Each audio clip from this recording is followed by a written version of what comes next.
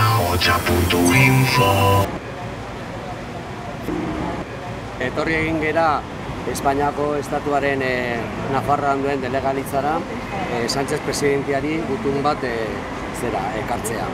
Eskatzen ari gera Open Arts eta Ozean Bikin dauden bortzeun eta zazpi lagunen dako konponbidea.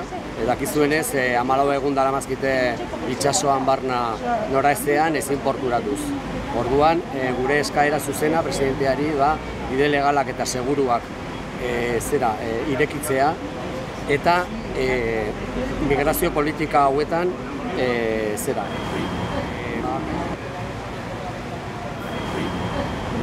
Zuz kontrako narabidea hartzea, aurrera pausoak ematea, e, batzorde, Europako batzordean e, proposatzeko bertan bera utzi behar dire giza eskubideak eta nazioarteko itunak errespetatzen dituzten migrazio politika hauek eta genozidio bat gertatzen ari delakoz Mediterraneoan eta bai esternalizazioa Libiara, li, e, Libiaren esku ustea erreskateak eta baita e, kriminal, elkartasunaren kriminalizazioa ondorioak hoiek dire.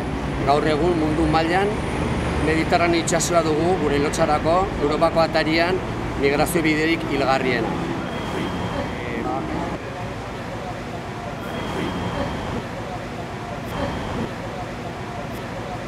Nafarroako gizarte eragile ezberdine konbokatu nahi zaituztegu datorren astelenean hemen e, atxaldeko zazpitan, abuztuaren emeretzian egingo den elkarretaratzera.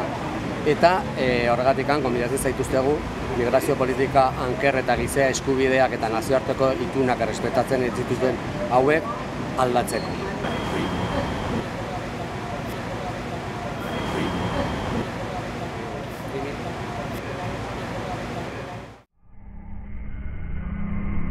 Ahotsa.info